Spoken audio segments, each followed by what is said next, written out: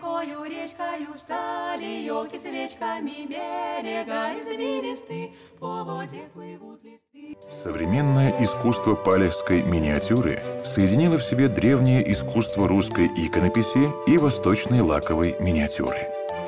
Тонкая работа мастеров иконописи когда-то настолько заинтересовала великого немецкого поэта Гёте, что по его просьбе Веймар ему было доставлено несколько икон Суздальско-Владимирского иконописного дела, к которому принадлежали и палехские иконописцы.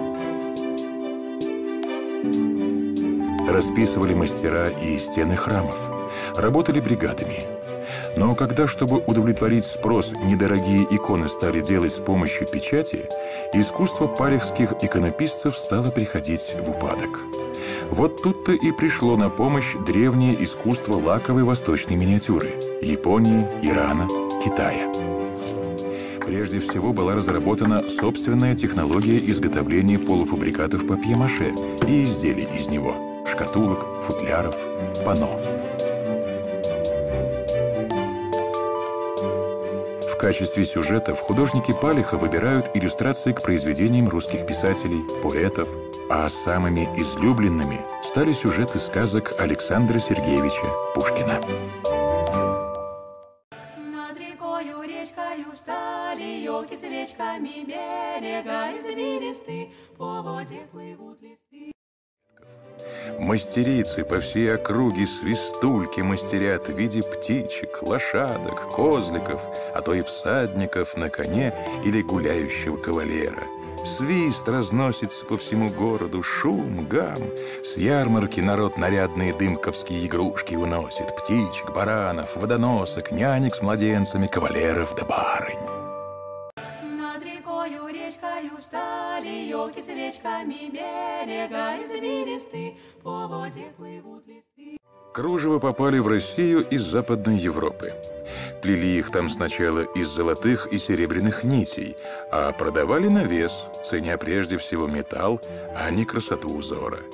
Хотя, говорят историки, кружевоплетение было известно еще древним народам. С незапамятных времен занимались люди плетением сеток и украшением их вышивками. В России плести кружево коклюшками или изготавливать кружево, шитое иглой, начали в XVIII веке. Больше всех преуспели в этом деле вологодские мастерицы. Знаменитым своим вологодским манером на весь мир прославились. Елки свечками берега извилисты, по воде плывут листы. Издавна Гжель славилась своими глинами. По указу царя Алексея Михайловича из Гжельской волости глины разных сортов поставлялись для аптекарских и алхимических сосудов.